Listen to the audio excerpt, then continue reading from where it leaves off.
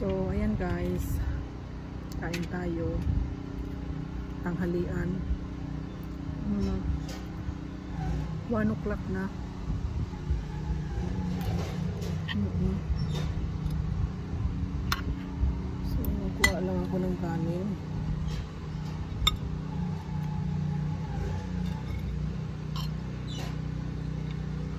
Ay naririnig nyo kasi maganda ang panahon.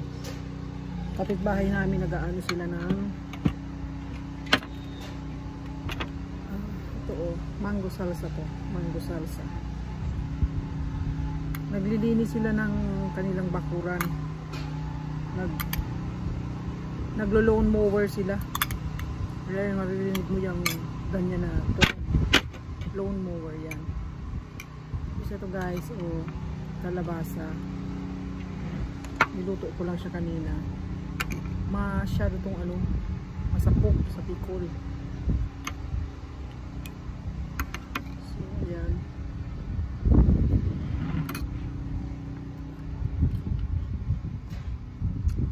Mapipino ko.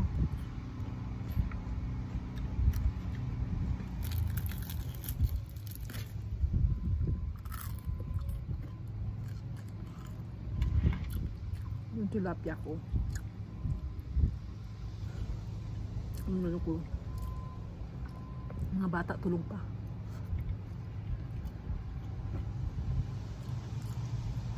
Nag si Mark kasi nag-study. Kasi ano, may exam.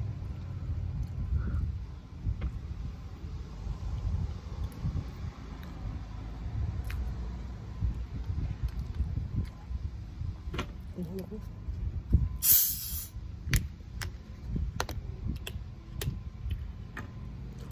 Si Mika tulog pa. Si Marinela umalis.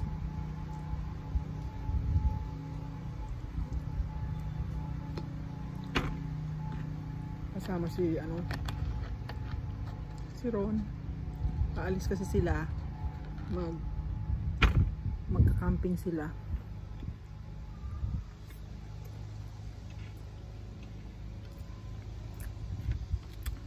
RB daw.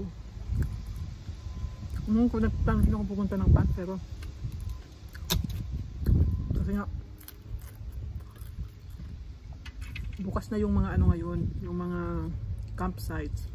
Pero hindi siya fully open kasi inaano pa rin nila yung social distancing.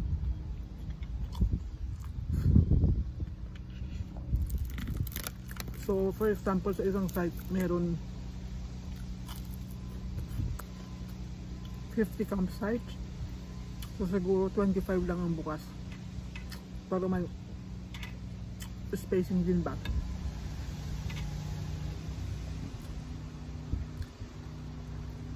Pero ito na ang magandang panahon na mag-camping.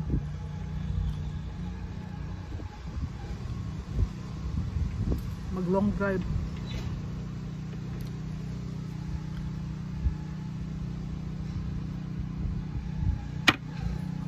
Kaso,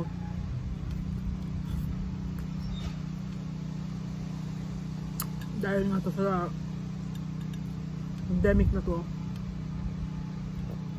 lahat na antala.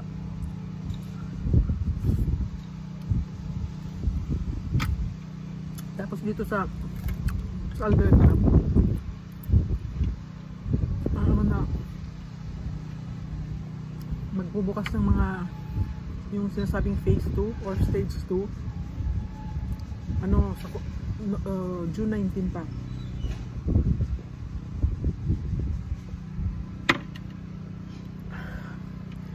Pero baka daw earlier next week i-announce na.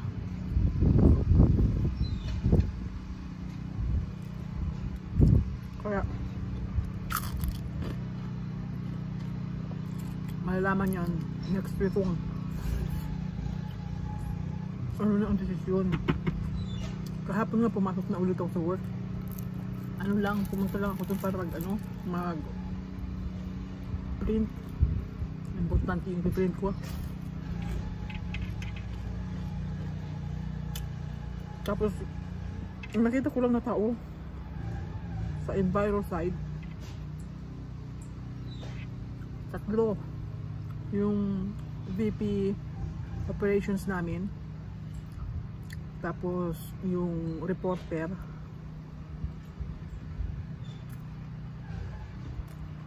Saka isang coordinator.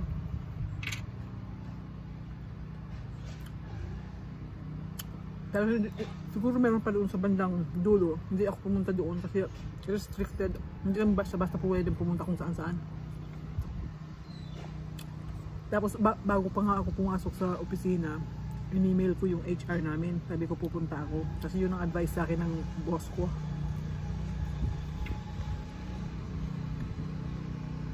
Yung general manager namin sabi sabi ko pupunta ako sa office. Sabi niya mag ano ka muna. Mag-email ka sa HR kay Dayam na pupunta ka. So nag-email din ako na pupunta ako doon sinabi ko there by 1 to 5 nag-reply din kaagad sila yan ang sabi bago daw ako mag-start I need to report sa HR para daw ma ma-briefing ako nung sa ano nung sa housekeeping rules.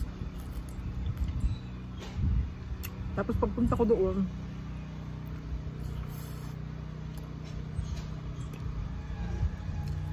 yung ano yung opisina katulad pa rin ng dati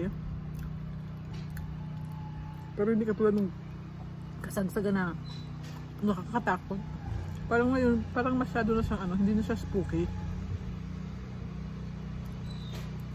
Makikita mo lahat ng signs about hand washing yung mga chemical na ginagamit doon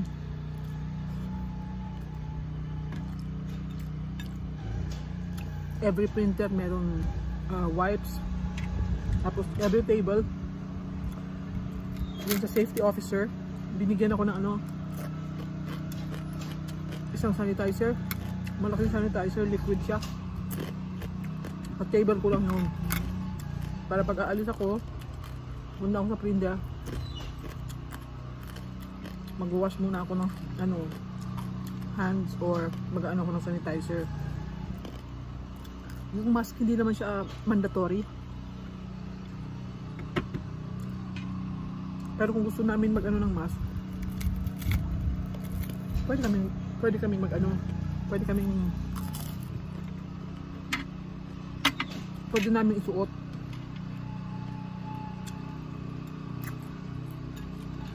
So yun ang nangyayari dito. Ano pa ba?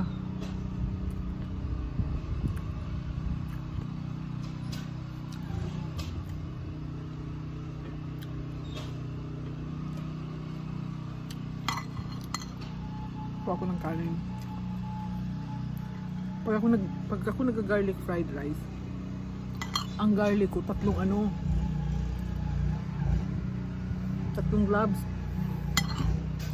Yung minsan lima nagagalit sa akin ng mga bata. Sabi ko ito na lang ako. Tinatawag ko nila si bawang girl.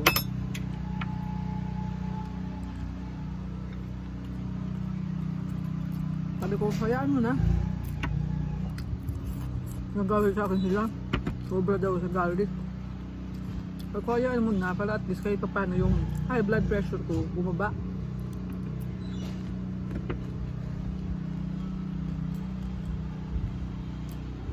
Nakakamiss kaya yung ano, yung mani dun sa na, alin sa nung binibili namin.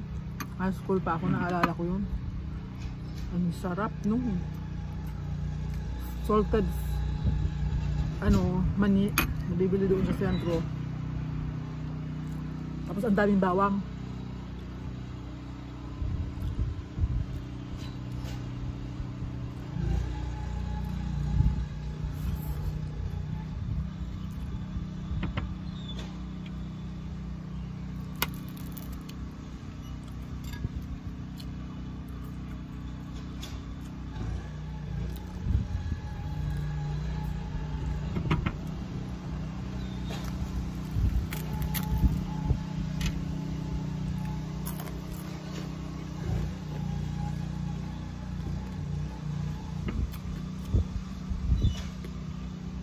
sarap ng isda uulan yata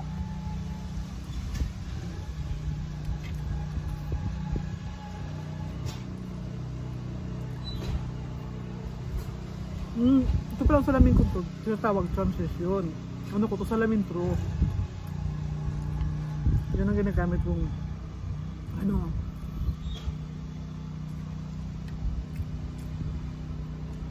kasi hindi na hindi na 2020 ang ano ko vision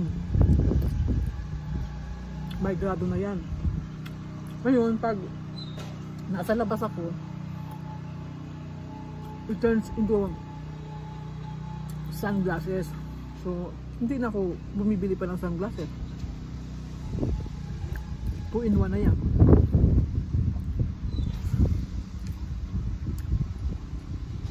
Medyo malamig sarap ng tilapia.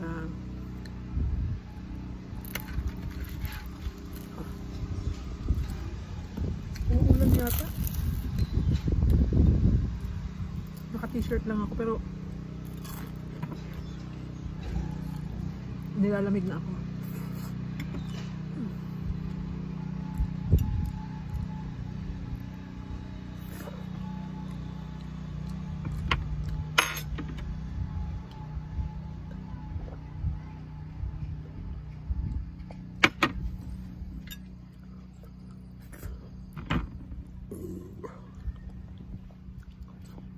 Busog na ho agad ako.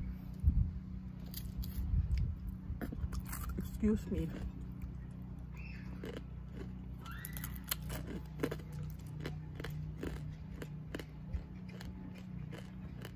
Ang sarap ng kalabasa.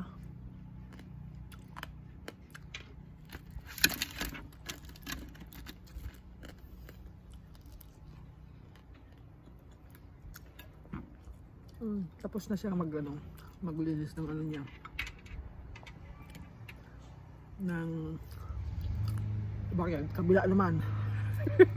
Kabilaan. Ako mamaya na lang. Kaya lang kung uulan. Siguro bukas na lang. Maganda na magtambay sa labas eh. Kaya lang pala uulan.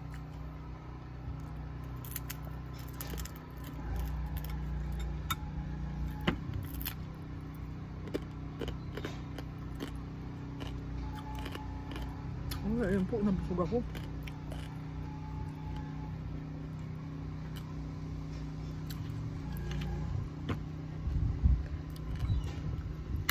Nabusog ako.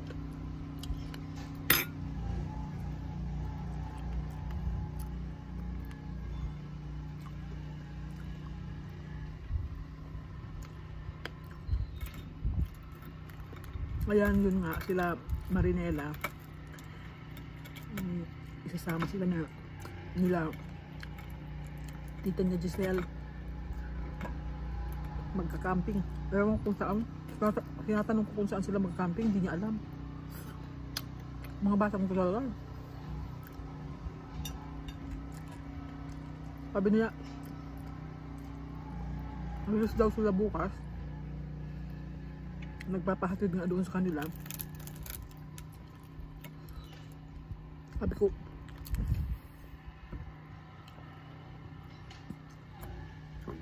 gusto ko rin pumunta sa ano sa van.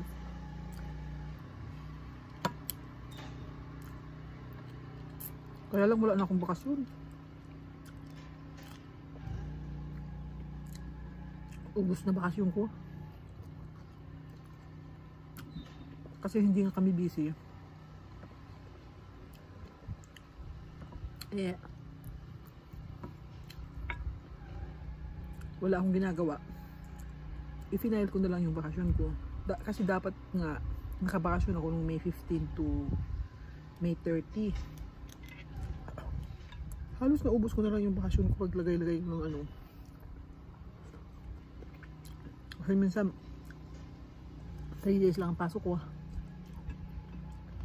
I mean work from home pero wala akong ginagawa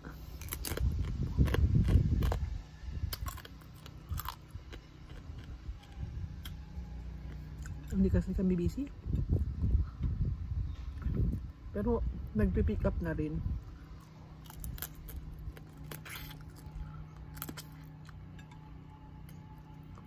kahapon may initiate ininitiate ako na project. Ano siya? Um, mag-start na. Isang project lang. Pero malaki yung budget. Nasa 1.1 million. Pero dati gan- ganitong panahon, malaki ang ano namin, mga project talagang busy-busy na sa field. Ngayon hindi. Dati pag ano na, husky time ang tinatawag namin ganitong time, busy-busy na kami.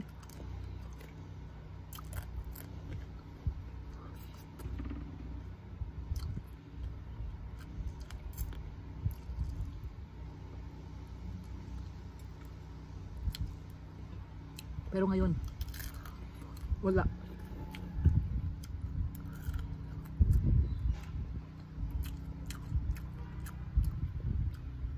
Nag-initiate ako ng mga projects niyan dati. 200 sites. Pag May, 200 sites. Tapos, isang client lang yan. Husky.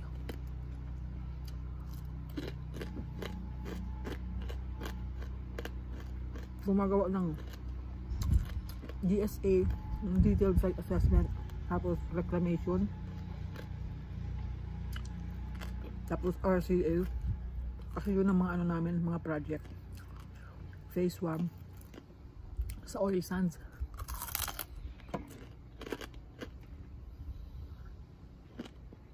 Pero ngayon wala.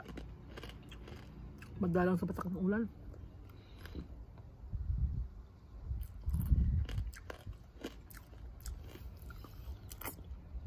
ongoing namin, ongoing sa amin yung syncrude. Pero, hindi kaya ng dati na talagang hataw. Pero ngayon, at least kahit pa paano yung barrel of oil is nasa ano na siya, $30 per barrel. So, pumipick up, pick up na siya. Dati nag 25 lang. As in talang wala.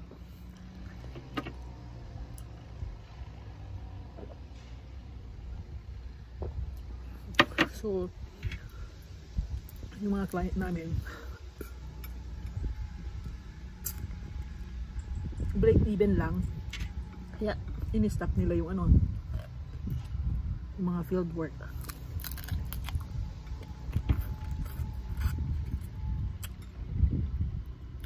Pero dahil nga dun sa may project yung government dito na per site bibigyan nila ng ano yung company. Mga tigda 30,000 per site. So ini-apply yun ng company ko. Pero wala pang approval. Check sa wild din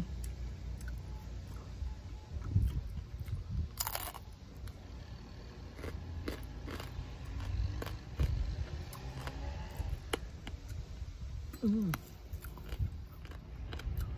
Pero sana nga mag-pick up na.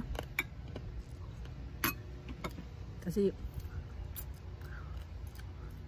hindi pa rin talaga namin alam kung anong nangyayari.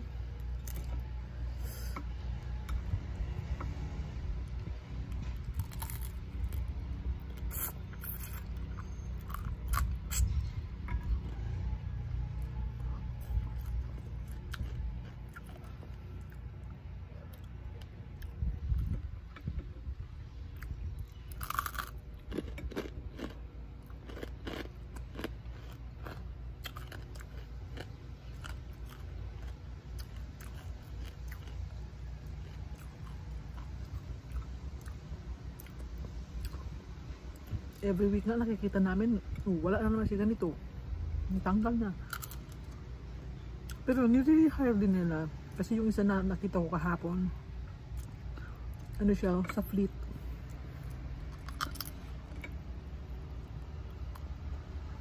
Ano siya, nagpa, ano na lang siya, sabi niya, i-lay off niya na lang ako kasi walang work. At least makareceive siya ng EI.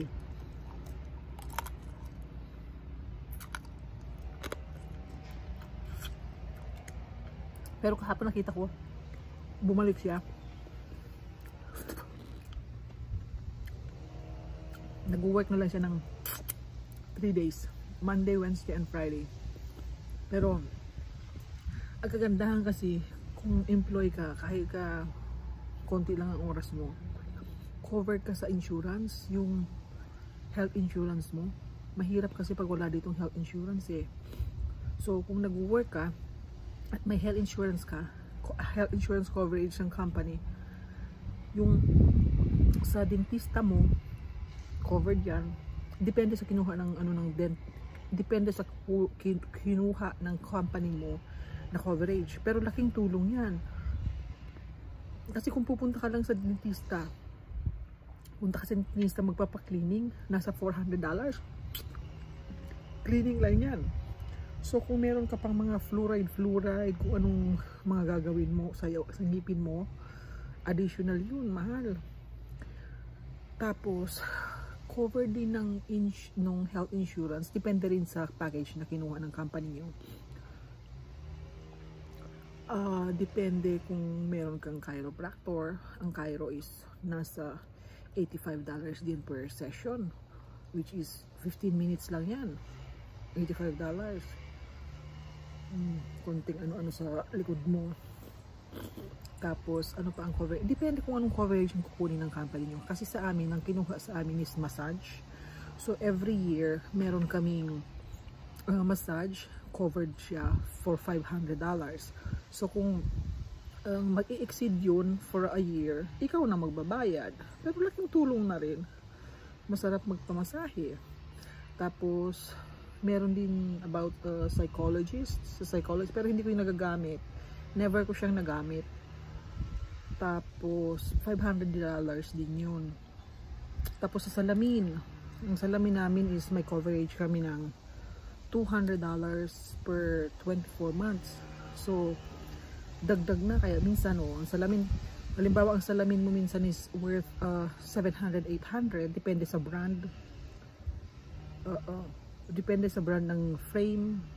Depende sa marami depende. Depende sa grado. Depende kung anong kukunin mo. Depende kung anong package. Pero meron kaming um, galing sa company which is yung binabayaran nga ng company na insurance worth siya ng $200 per 24 months. Kaya laking tulong sa akin ng ano health insurance na uh, ano ng company. Kasi to, kami lima kaming may salamin. Si so, yung mga bata uh, allowed silang magpalit ng salamin every year pag hindi pa sila naka-reach ng 18 years old. Pero pag nag 18 years old na sila ano na ang uh, ano nila is uh, every 24 months na rin. So $200 din. Oh, umuulan na. Sige na Bye-bye.